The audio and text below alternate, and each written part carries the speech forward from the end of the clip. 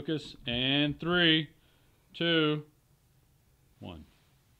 Tonight, IBM, friend or foe? IBM has been announced as the winner of a long term VA contract to modernize the electronic health records management system for the embattled VA. IBM will utilize the latest technology to provide up to the minute care for veterans all across this great country. The VA released a statement We are serious about health of our nation's heroes and are sparing no expense to update, modernize, and create an efficient system to diagnose and provide real time healthcare solutions for those who've served our country. We thank IBM, a company that has a long history providing cutting edge information technology solutions, for stepping in, providing leadership and experience that will be valuable to our country and save taxpayers money. Hold on. This isn't who we are. No. Give me those freaking cue cards, man. Ah. You know what? You know what's going to happen with this? You know what the implications are of this Watson program that's going to come up? It's a computer that they're going to use to replace the doctors at the VA to do the death panels that have been going on, to help take away human emotion for making those decisions. This is something that's got to change. This is ridiculous. And I'm Joe Biggs with Infowars.com, and I'm not going to take it anymore. I'm standing outside of the Veterans Affairs Center in Austin, Texas. This will be the proving ground for IBM's brand new technology, Watson. Now, what that is, is a supercomputer that will have all of your medical records, admin records, and many other things downloaded into it.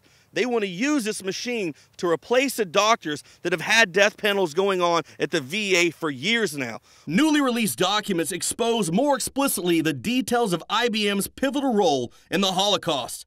All six phases identification, expulsion from society, confiscation, ghettoization, deportation, and even extermination. Moreover, the documents portray with crystal clarity the personal involvement and micromanagement of IBM President Thomas J. Watson and the company's co planning and co organizing of Hitler's campaign to destroy the Jews. Why is the Department of Veterans Affairs awarding IBM with a large contract to bring in Watson, a new technology that will be used to replace doctors in an already failing VA health system? Why are they naming it after Thomas J. Watson, the founder and president of IBM?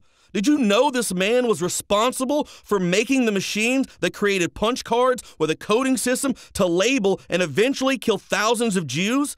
This machine would generate codes to be tattooed on prisoners in Hitler's concentration camps. This man committed genocide by any standard, and IBM and the VA want to throw it in our face clear as day and name it after that monster. If this doesn't piss you off, I don't know what will. Hitler was so impressed with what Watson had done for the Third Reich that he awarded him with a special award created specifically for the occasion to honor extraordinary service by a foreigner. The medal was the Order of the German Eagle with Star, bedecked with swastikas and was to be worn on a sash over Watson's cold, dead heart. Why do they want to put a machine in charge of your health, you might ask yourself? They do it so this pre programmed evil robot can make the life or death decisions about you, the veteran, instead of the doctors that have received so much flack from the VA scandal over the last year. This helps take human emotions away and also allows the medical personnel to use Watson as a scapegoat should any problems arise, like death. Watson will be a new form of medical AI technology used to run the death panels already in place at the VA. How soon will it be until this technology moves over into civilian healthcare? Will you be a victim of Watson's wrath? This is also happening in another area of the government. They now want to replace humans that fly drones and make them fully autonomous. And many pilots were also claiming PTSD. Once you take the human aspect out of dealing with healthcare and war, things become even more evil. Who is going to check the morals of the men and women who program these machines? How do we know the machines will be told to act ethical and make the right decisions? Well, there you have it. That is the new Watson technology that's going to run the death panels at the already failing VA healthcare system. Now I have a vision of how this Watson technology will be implemented when you walk into the VA. Let's go in here and take a look.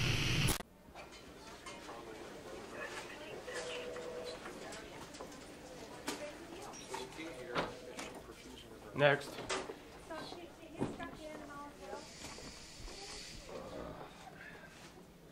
What's going on? All right, right arm.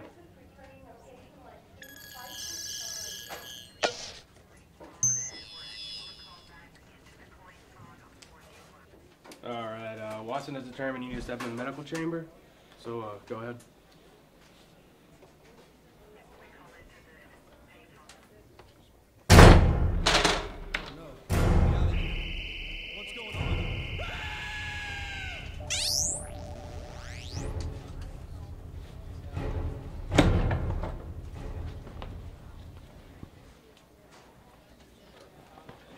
Next.